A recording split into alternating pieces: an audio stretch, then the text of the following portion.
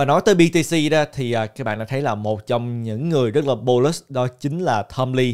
Tom Lee là người dẫn đầu của cái à, công ty à, gọi là Fundstrat các bạn. Đây là công ty à, đã có rất nhiều năm và rất nổi tiếng trong thị trường chứng khoán và Tom Lee cũng là một trong những người mà thường hay lên đài CNBC để mà chia sẻ cái nhận định của mình. Và phần lớn chia sẻ à, nhận định của mình về chứng khoán thì rất là đúng các bạn. Nhưng mà nói tới BTC thì à, Tom Lee đã bullish từ rất nhiều năm rồi và năm nay cũng không ngoại lệ các bạn. Nói là BTC sẽ đạt được cái mức là 180.000 đô khi nào các bạn không phải là kết thúc chu kỳ này, mà sẽ trước tháng 4 năm 2024 có nghĩa là trước khi hạ bình nữa, có thể đạt được mức là 180 ngàn. Wow các bạn, đây là một cái nhận định cực kỳ bullish. Tại vì các bạn đã biết là theo lịch sử đó thì BTC không đạt đỉnh mới trước ngày halving.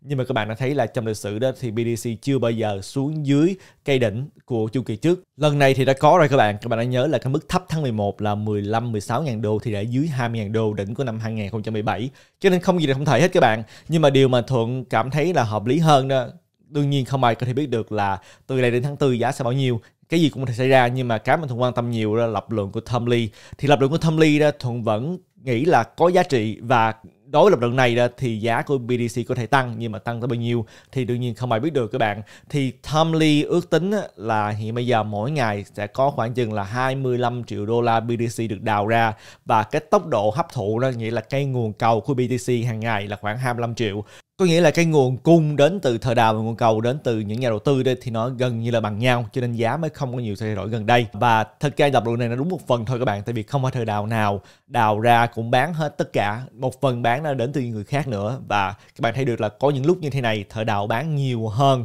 cái số mà họ đào ra tại vì họ tích lũy trước đó. Nhưng mà trước cho là vậy đi các bạn, thì Tom Lee nói đó là chỉ khi nào đây là một cái uh, phần rất là quan trọng. Chỉ khi nào mà chúng ta có một cái Bitcoin Spot ETF được thông qua thì đối với Thâm Ly đó sẽ có khoảng chừng là 100 triệu 100 triệu đô la nguồn cầu sẽ xuất hiện trong thị trường này thông qua những quỹ ETF này. À, và vì lý do đó đó chúng ta có thể thấy được là cho đến cái thời điểm halving năm 2024 thì lúc đó cái số lượng BDC đào ra bị cắt đi phần nửa các bạn. Và nếu tính giá bây giờ đó, thì có nghĩa là chỉ khoảng 12 triệu đô la được đào ra bởi thời đào mà thôi tính theo cái giá của BTC thì các bạn có thể thấy được là cái nguồn cung đến từ thời đạo giảm phân nửa mà nguồn cầu đó không những như vậy mà còn tăng lên. Thì nếu như mà Tom Lee đưa ra một cái ví dụ như vậy, thì có thể là hàng ngày nhu cầu thu mua BTC đến từ những cái người mà đầu tư vào Bitcoin Spot ETF cộng với lại cái nguồn cung hiện tại là khoảng 125 triệu. Trong khi mà cái số lượng đào ra bây giờ có 25 triệu mà thôi và thậm chí sau khi mà halving thì lại giảm đi phân nửa nữa thì có thể dẫn đến là giá sẽ tăng mạnh. Và ước tính của Fundstrat là từ 140 ngàn tới 180 ngàn đô la. Như thường đã chia sẻ các bạn lập luận thì à, đây cũng là lập luận chúng ta thường hay nói tới tại sao mà mỗi lần halving xong chúng ta lại thấy có cái sự tăng của giá sau một thời gian. Tại vì à, cái nguồn cung bị giảm phân nửa mỗi một lốc như vậy đó thì sẽ thấm vào trong thị trường. Trong khi nguồn cầu đó chỉ ở một chỗ thì các bạn thấy được là cũng dẫn đến giá cả tăng theo thời gian. Và đây là lập luận à, khi mà chúng ta nói tới Bitcoin halving. Vì lý do đó đó các bạn thấy được là mỗi một đợt halving thì cái sự ảnh hưởng giá cả nó giảm xuống giảm xuống. Tại vì các bạn thấy cái à, sự khác biệt giữa một lốc là 50 BTC giảm còn 25 những cái à, thời buổi đầu tiên đó của BTC thì lúc đó khác biệt rất là lớn. Rồi tới 25 còn 12.5 sự khác biệt cũng rất là lớn. Tới đợt halving kế tiếp các bạn thấy được là giảm đi phân nửa và giảm phân nửa. Thì mỗi lần như vậy đó thì cái à, tốc độ giảm như vậy tới một mức nào đó, đó thì các bạn thấy được là BTC giảm. Giả sử như là một chấm mấy còn không chấm mấy thì cái sự ảnh hưởng nó giảm theo thời gian. Nhưng mà bây giờ thông vẫn tin là sẽ có sự ảnh hưởng. Và chu kỳ kế tiếp có thể cũng sẽ vẫn có sự ảnh hưởng nhưng mà sau đó thì là không còn nhiều sự ảnh hưởng nữa các bạn. Nghĩa là gì? Các bạn nghĩa là đến một lúc nào đó đó khoảng năm 2028 năm 2000 30 đó thì à, BD sẽ trở thành à, một cái tài sản mà nó sẽ được hình thành trưởng thành hơn và từ đó sự dao động sẽ không còn như bây giờ nữa cơ hội chỉ là bây giờ mà thôi chứ không phải là sau này các bạn và nói tới Bitcoin Spot ETF á, thì đã đến đâu rồi? Thì tôi muốn chia sẻ với các bạn cái à, update này đến từ Bloomberg Intelligence. Thì họ đã thống kê những cái quỹ hiện bây giờ được chờ đợi để duyệt bởi SEC. Thì các bạn đã thấy được là tất cả những quỹ này đã bây giờ hầu như đã được nhận từ SEC. Có nghĩa là cái 240 ngày đã bắt đầu đếm ngược rồi. Thì dựa theo lịch trình á, các bạn thấy được là chúng ta có một số ngày chúng ta cũng không quan tâm nhiều đâu. Ngày mà các bạn quan tâm nhiều nhất đó chính là final deadline nghĩa là hạn chót các bạn cái quỹ mà có khả năng có quyết định sớm nhất đó chính là cái à, quỹ 21 share đến từ ARK Invest. Thì ARK Invest á, nếu như mà dựa theo lịch trình thì họ có thể có được một cái quyết định vào ngày 10 tháng 1 năm 2024 trong khi những quỹ còn lại đó các bạn thấy được là phải đợi tới ngày 14 hay là ngày 15 tháng 3 thậm chí cái quỹ Valkyrie là cái quỹ cuối cùng các bạn cái quỹ mà chúng ta thấy có cái ticker symbol blur cái ticker symbol mà các bạn in tiền để các bạn bro từ Fed á, thì à, chúng ta thấy được là phải đợi tới ngày 19 tháng 3.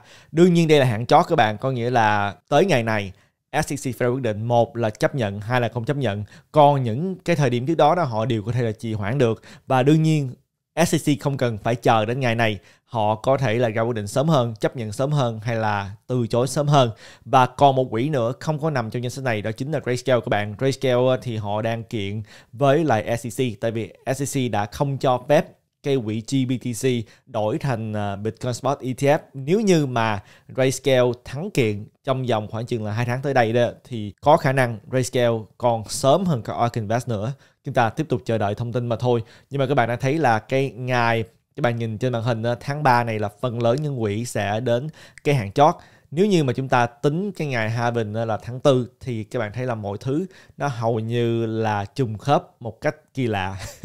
Các bạn nghĩ sao? Các bạn comment ở bên dưới. Nói tới BlackRock đó thì các bạn thấy là ở trên Twitter hiện bây giờ có rất nhiều người chia sẻ à, một cái à, bài nghiên cứu đến từ BlackRock. Và đây là bài nghiên cứu được chia sẻ đầu năm ngoái các bạn tháng 2 năm 2022 và các bạn đã biết là bắt đầu từ tháng 2 của năm ngoái đó thì giá đã bắt đầu đi xuống.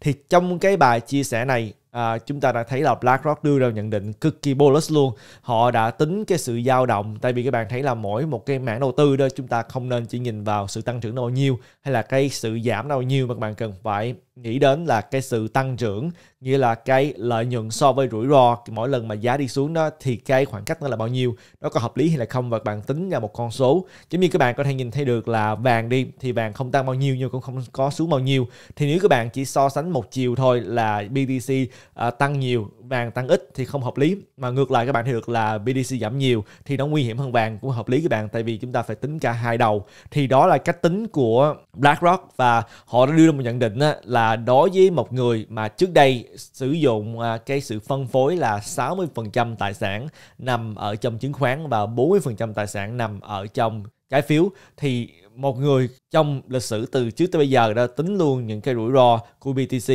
thì nếu như mà cái người đó có một cái phân bổ vốn là 84.9% BTC, phần còn lại có nghĩa là khoảng 9.06% là chứng khoán và 6.04% là trái phiếu thì dựa theo lịch sử đây là cái sự phân phối tối ưu nhất cho một người. Wow các bạn, BlackRock để là 84.9% BTC dựa theo lịch sử giá cả lên xuống của BTC là cái phần trăm tối ưu cho một tài sản. À, đương nhiên các bạn thấy được đây là một cái bài nghiên cứu à, được BlackRock chia sẻ mà thôi và cũng để trên đây đó là bài nghiên cứu này không đại diện cho BlackRock nhưng mà thật ra đây chỉ là những cái từ ngữ à, để bảo vệ công ty mà thôi các bạn. Thật ra tất cả những bài viết nghiên cứu của những công ty họ đều có những cái à, từ ngữ như thế này để lỡ nhưng mà bị kiện nên thì à, BlackRock sẽ nói là đây là bài viết họ mướn người để mà viết chứ không phải là họ tự viết hay là đây không phải là bài viết mà họ ủng hộ hay gì hết các bạn. Nhưng mà thật ra các bạn đã biết nếu như BlackRock đã chia sẻ thông tin này với mọi người thì đương nhiên là công ty BlackRock đã đọc qua và họ cảm thấy hợp lý, họ mới chia sẻ. Nhưng mà cái thông tin này đó có một điều mà thuận vẫn chưa có hiểu rõ, đó chính là đến từ đâu các bạn? Đúng là chúng ta nhìn thấy được rất là nhiều những cái văn bản cho chúng ta thấy rõ ràng đây là cái thông tin đến từ BlackRock, nhưng mà thuận không có cái link nào hết các bạn. Và thuận không biết là đây là bản nháp hay là bản thật sự cho nên chúng ta đọc á, cho biết mình thôi và đương nhiên à, thuận không nghĩ là bất cứ ai cũng nên à, 84% BTC hết các bạn bản thân thuận cũng không có đầu tư vào crypto 84% tại vì mỗi người có mọi vị thế khác nhau có thể là bạn nghĩ phần trăm đó là hợp lý thì các bạn có thể đi theo con đường đó. Bản thân Thuận đó thì trước đây cũng đã một thời gian là Thuận đầu tư khoảng chừng 70 80% vào crypto này bây giờ đây các bạn đã biết là Thuận khoảng 58 60% mà thôi. Tại vì à, thời gian thay đổi thì cái kết cấu. Trên đầu tôi của thùng cũng thay đổi, tại vì vị thế thùng thay đổi theo thời gian, và mỗi người cũng nên có một cái vị thế khác nhau. Phần trăm phân bổ vốn cũng sẽ khác nhau, thu nhập mọi người cũng sẽ khác nhau, chi tiêu mọi người cũng sẽ khác nhau, cho nên không ai có thể khuyên ai làm gì trong thị trường tài chính hết các bạn. Nhưng mà cái thùng muốn làm là chia sẻ thông tin một cách đầy đủ nhất có thể, để các bạn có thể tự đưa quyết định cho bản thân của mình. Nhưng mà một điều mà lúc nào Thu nhìn lại Thu cảm thấy là, wow, chúng ta đã đi một con đường không hề dễ dàng và một con đường rất là dài các bạn. BTC đã có 14 năm qua rồi và thật ra những năm đầu tiên chúng ta không tính, tại vì những năm đó đó, phần lớn mọi người cũng không ai quan tâm đến, thậm chí nhà đầu tư sớm nhất cũng không quan tâm đến các bạn. À, tại vì lúc đó chỉ những người lập trình à, đó là một sự thử nghiệm mà thôi. Thực ra tối thuần nên BTC à, đã trở thành một cái gì đó mà càng ngày càng được nhiều quan tâm đến hơn trong vòng khoảng chừng 8 năm qua. Chúng ta không những là bắt đầu thấy những nhà đầu tư quan tâm đến những người mà thích đầu cơ quan tâm đến chúng ta cũng thấy những người thích công nghệ cũng quan tâm đến. Thậm chí chúng ta thấy là những công ty lớn quan tâm đến tổ chức phố Wall quan tâm đến quốc hội của Hoa Kỳ à, những cái người lãnh đạo của nhiều quốc gia quan tâm đến BTC trở thành tiền tệ hợp pháp của El Salvador. À, chúng ta thấy bây giờ đó thì ngay cả ngân hàng trung ương cũng quan tâm đến BTC. Nhìn lại đó, đây là cái hội nghị BTC năm 2013 các bạn. Và các bạn có thể nhìn thấy được uh, trên màn hình ở đây là Andreas Antonopoulos. Lúc đó cả cái hội trường này không có mấy người các bạn chúng ta đã đi một cái à, thời gian rất là xa rồi trong khi các bạn đã thấy là bây giờ đây các bạn muốn à, tham gia vào hội nghị BTC à, thì các bạn cần phải trả một cái giá rất là cao. Các bạn biết là một cái vé đó để mà đi hội nghị BTC giống như là BTC 2023 ở Miami thì các bạn phải trả lên tới 2.000, 5.000 đô các bạn. Và tới mấy ngàn người tham dự lần. Nhìn lại, chúng ta thật sự đã đi một khoảng thời gian rất là xa. Nhiều thứ đã xảy ra. Nhìn lại chúng ta mới thực sự nhận ra được thị trường này càng ngày càng trưởng thành như thế nào. Rồi chúng ta có một cái bài nghiên cứu được chia sẻ hàng tháng bởi Coinmetrics nhưng mà lần này thì cảm thấy là họ chia sẻ một bài rất có ý nghĩa cho nên Thùng muốn dành thời gian để mà chia sẻ bài này với các bạn và bài này của Coinmetrics là họ quan tâm đến cái gì là chứng khoán dựa theo những gì chúng ta đã biết từ đầu năm tới bây giờ. Và trong bài viết này đó, họ đã phân bổ ra làm nhiều phần khác nhau. Thường chia sẻ những gì thường cảm thấy là thú vị mà thôi, tại vì bài viết này nó rất là dài, các bạn. Nó tới 46 trang. Đương nhiên chúng ta sẽ không ngồi đây để mà đọc từng trang một. Nhưng mà các bạn đã thấy trên mạng xã hội đã thường chia sẻ một cái biểu đồ hình tròn với các bạn thì biểu đồ này đó là đến từ cái bài nghiên cứu từ Cometrics thì trên màn hình các bạn các bạn thấy được là trong vòng tròn này chúng ta có ba màu. Màu đỏ là đại diện cho tổng số vốn hóa mà chúng ta biết chắc chắn không phải là chứng khoán dựa theo SEC chúng ta được là cái phần mà màu xanh lá cây đó là cái phần chúng ta không rõ hiện bây giờ tại vì SEC chưa hề đề cập đến. À, những cái đồng này và cái phần mà màu à, cam đó là những đồng mà SEC đã gọi tên là chứng khoán các bạn. Và cho dù các bạn thấy được là SEC đã gây ra biết bao nhiêu là drama trong thị trường crypto này, nhưng mà trên căn bản đó, cho tới bây giờ tính theo vốn hóa, thì chỉ có 6.8% vốn hóa là được SEC gọi là chứng khoán mà thôi. Còn lại 43.8% là chưa được gọi tên à, và chưa được đề cập đến các bạn thì được là phân nửa tính theo vốn hóa. Đương nhiên phần này chỉ là BTC thôi các bạn. Cái phần màu xanh lá cây này là chúng ta tính luôn y từ trong đó. Thì à, phân nửa của thị trường crypto này là không phải là chứng khoán các bạn tại vì BTC chiếm phần trăm gần như 50 phần trăm rồi. Đó là điều thật cảm thấy rất là thú vị các bạn. Chúng ta thực sự ra gần đây chỉ quan tâm đến 6.8% vốn hóa trong khi mà phần lớn còn lại thật sự vẫn chưa có gặp vấn đề gì và chưa bao giờ được gọi tên về SEC. Nhưng mà Thuận muốn chia sẻ à, với các bạn bên dưới này đó thì à, uh, thường nhớ là bắt đầu từ trang hai mươi mấy đó thì họ nói về how we test. Thì các bạn đã biết là một trong những cách mà SEC muốn biết cái gì là chứng khoán thì họ áp dụng một cái cách thử thách gọi là how we test các bạn. Thì how we test này đó thuận đã chia sẻ với các bạn chi tiết trong những video trước đây. Hôm nay thuận chỉ muốn tóm tắt lại là đối với lại một tài sản nào đó tài sản đó có phải là hợp đồng đầu tư hay là một chứng khoán đó, thì chỉ khi nào bốn điều kiện bên dưới này là sự thật, không phải là một hay là hai hay là ba, mà tất cả bốn điều này phải là sự thật để chứng minh tài sản đó hay là cái vật đó là hợp đồng đầu tư hay là chứng khoán và phải được đăng ký với SEC. Thứ nhất đó là một khoản đầu tư bằng tiền. Thứ nhì là đầu tư vào một doanh nghiệp chung Thứ ba là nhà đầu tư mong đợi lợi nhuận và thứ tư, lợi nhuận chủ yếu từ nỗ lực của người khác. Và các bạn thấy được là bốn điều này khi đọc mới đầu thì nghe cảm thấy hợp lý và nghe cảm thấy là tất cả những token đều nằm trong cái bốn điều này. Nhưng mà thật ra khi mà áp dụng đó thì nó phức tạp vô cùng. Và trong trường hợp của SEC đó thì các bạn đã biết là thẩm phán Torres nói là chúng ta không thể chứng minh được cái phần số 3 này. Thì phần số 3 này nhiều bạn nói là, ủa, tại sao không chứng minh được? Những người nào mà mua XRP họ đương nhiên là muốn giá tăng rồi. Nhưng mà cái phần số 3 này đó thì lại liên kết tới phần thứ tư là lợi nhuận chủ yếu từ nỗ lực của người khác. Và trong lập luận của thẩm phán Torres thì chỉ khi nào mà các bạn mua đồng XRP trực tiếp từ công ty Ripple thì các bạn đưa tiền cho họ, rồi các bạn lấy token XRP các bạn biết là các bạn mua từ ai và các bạn biết là công ty Ripple đó họ hứa hẹn dùng tiền đó làm gì để phát triển công ty và có thể khiến cho đồng XRP tăng giá nhưng mà các bạn mua ở trên sàn giao dịch thì các bạn không biết là mua từ ai cho nên một người bình thường không thể nào à, có một mong đợi là công ty Ripple sẽ nhận được tiền đó và công ty Ripple sẽ làm gì đó cho token tăng giá lên. Hai cái này là hai cái khác nhau đó lập luận đến từ thẩm phán Taurus. Nhưng mà điều chúng ta quan tâm hơn đó là trong bài viết này đến từ Coinmetrics thì à, họ cũng thấy được là SEC khi mà áp dụng đó thì cảm thấy nó không có nhiều cái sự đồng bộ. Tại vì có nhiều đồng rõ ràng là có thể được gọi là chứng khoán dựa theo how we test nhưng mà SEC lại không có nói tới. Có những đồng mà SEC gọi tên lại cảm thấy là rất là bất ngờ các bạn. Thì tại sao vậy? Thì chúng ta đã thấy được là trên màn hình đây là những cái đồng lớn, những đồng nền tảng. Chúng ta không nói đến BTC, BTC đương nhiên không phải là chứng khoán rồi. Ethereum thì cho tới ngày hôm nay đó SEC vẫn chưa bao giờ gọi là chứng khoán hết. À, chúng ta thấy được là những đồng khác đó như XRP thì đã bị SEC cáo buộc là chứng khoán, Cardano cũng vậy, Algo cũng vậy, ICP cũng vậy bên dưới này đó là những đồng tiền ích các bạn. Và ngay cả các bạn thấy được là Madic thì SEC cũng đã gọi tên là chứng khoán và Mana cũng như vậy. Thì tại sao Link không được gọi tên, Uniswap không được gọi tên, Compound không được gọi tên CIB không được gọi tên mà Mana và đồng Madic thì bị gọi tên?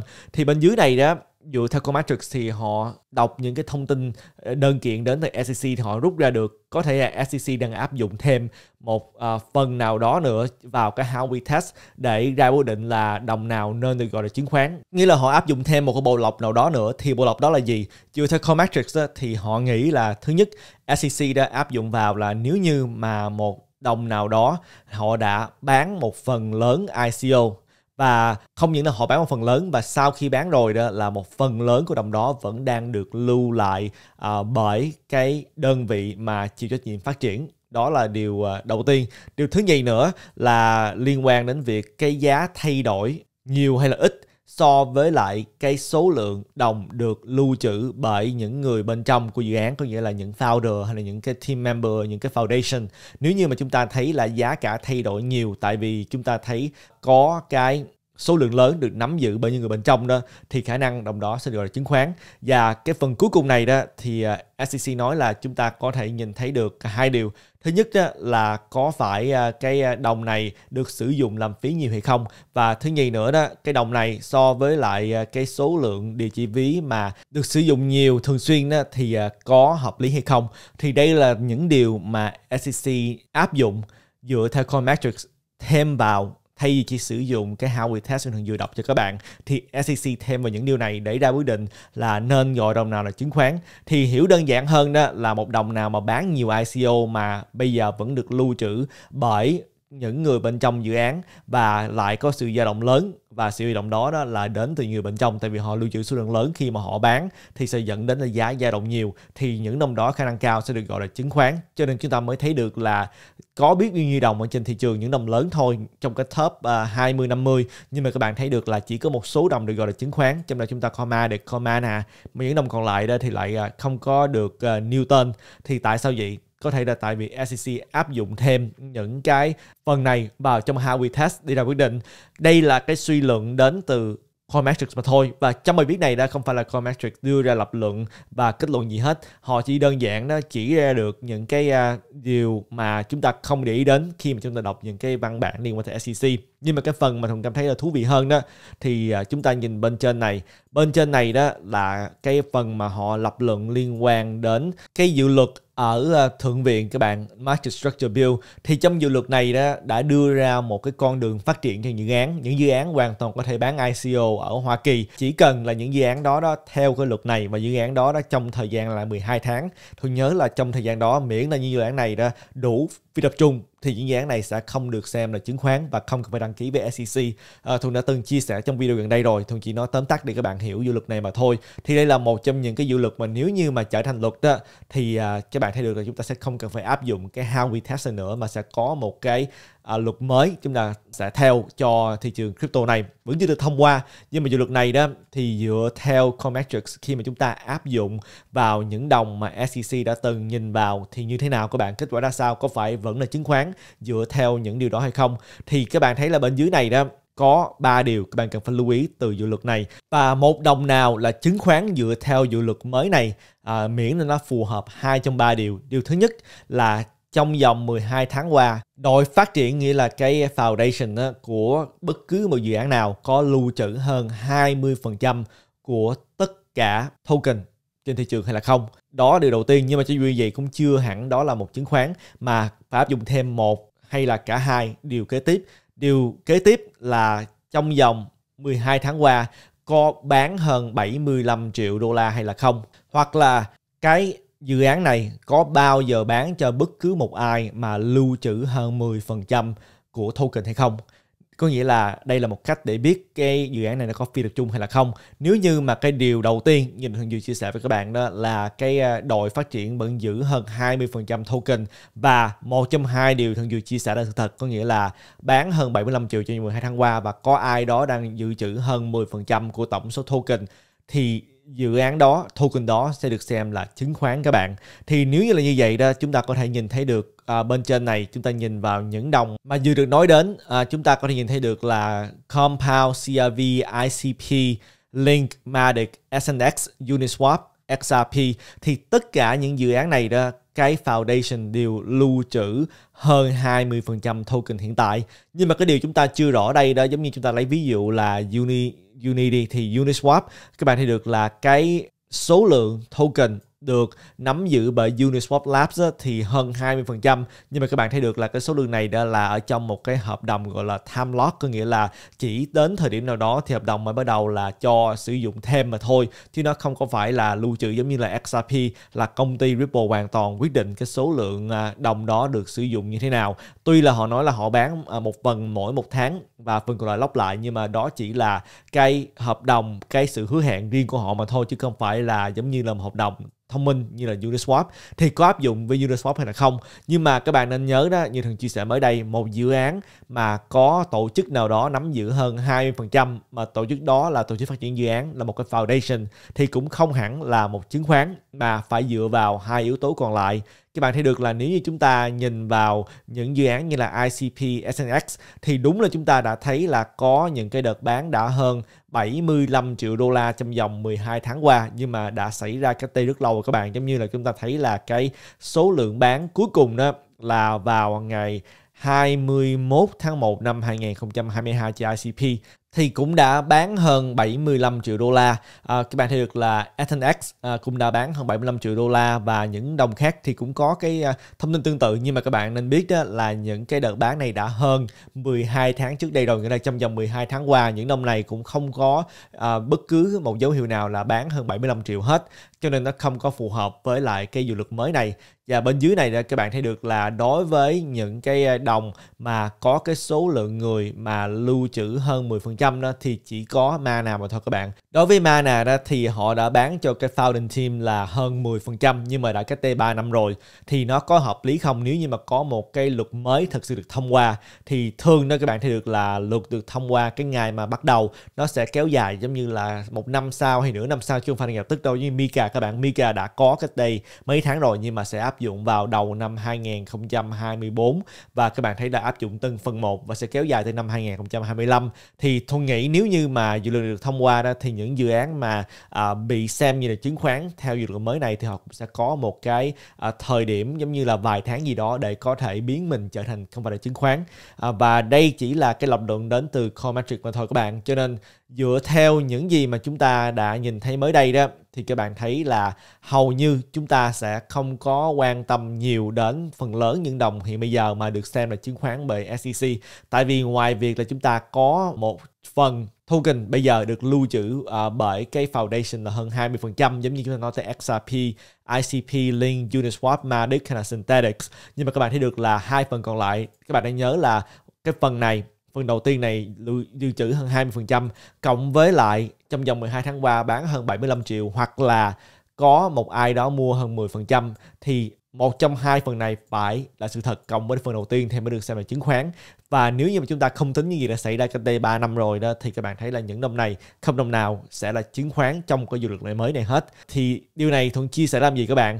Nghĩa là nếu như mà chúng ta thấy dự luật này được thông qua. Tuy là khi mà viết á, thì các bạn đọc các bạn cảm thấy được là thì dự luật này cũng hợp lý mà thôi nhưng mà khi mà áp dụng vào những cái đồng bây giờ thì phần lớn các đồng đều sẽ không phải là chứng khoán. Cho nên điều này điều mà SEC sẽ không có thích đâu các bạn. Họ sẽ không thể chấp nhận được khi mà áp dụng luật này rồi. Một mặt thì nói là token chứng khoán sẽ được quản lý bởi SEC token tiền sẽ được quản lý bởi CFTC nhưng mà trên thực tế khi mà áp dụng vào đó thì các bạn thấy được là tất cả đều sự quản lý bởi CFTC cái phần mà trên danh nghĩa quản lý bởi SEC là một phần cực kỳ nhỏ mà thôi và những token đó cũng không quan trọng. Cho nên uh, thuận sẽ không nghĩ là SEC sẽ để hiện nhìn tất cả những nỗ lực trong vòng 2-3 năm qua biến thành mây khói rồi các bạn. Đó là điều thuận muốn chia sẻ ở đây. Đương nhiên chúng ta thì muốn dự luật này được thông qua tại vì khi mà thông qua rồi các bạn sẽ thấy thị trường crypto sẽ thênh thang mở rộng các bạn và sẽ có càng nhiều dự án hơn à, sẽ không lo ngại về pháp lý nữa và họ sẽ phát triển mạnh ở Hoa Kỳ.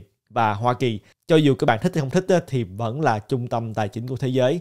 Phần lớn tiền là đến từ Hoa Kỳ hiện tại. Cho nên Hoa Kỳ là một thị trường cực kỳ quan trọng. Cho nên các bạn thấy là cho dù pháp lý ra sau đi nữa đó nhiều dự án họ vẫn chấp nhận ở lại để chống đối với SEC hơn là rời khỏi. Hy vọng là các bạn hiểu hết những gì mà Thuận muốn chia sẻ từ cái bài nghiên cứu này đến từ Cometrics. Bài này rất là dài và Thuận chỉ mới đọc hôm nay mà thôi, nhưng mà Thuận muốn nhanh chóng chia sẻ à, để các bạn nắm bắt được thông tin. Những bài nào mà hiểu khác hơn hay là có thông tin gì, các bạn có thể comment ở bên dưới video này. Và đây là tất cả những thông tin mà Thuận muốn chia sẻ với các bạn trong video ngày hôm nay. Thuận hy vọng là các bạn nhận được nhiều giá trị trong video này. Nhưng mà nào muốn tìm hiểu những ưu đãi dành riêng cho cộng đồng Thuận Capital thì có thể tìm hiểu bằng cách ta bấm vào cái link ở bên dưới video này để tìm thấy những ưu đãi như là các bạn có thể nhận được bonus để giảm phí giao dịch lên tới 30% khi mà tham gia vào những sàn như là Bybit, OKX, Binance và một số những dịch tiêu khác như các bạn nhìn thấy trên màn hình. nhưng bên nào mà sử dụng sàn giao dịch đó, thì nên dùng để mà giao dịch mà thôi, không nên lưu trữ quá nhiều tiền trên sàn. Và Thuận sẽ hẹn gặp lại các bạn trong video kế tiếp. Tạm biệt các bạn.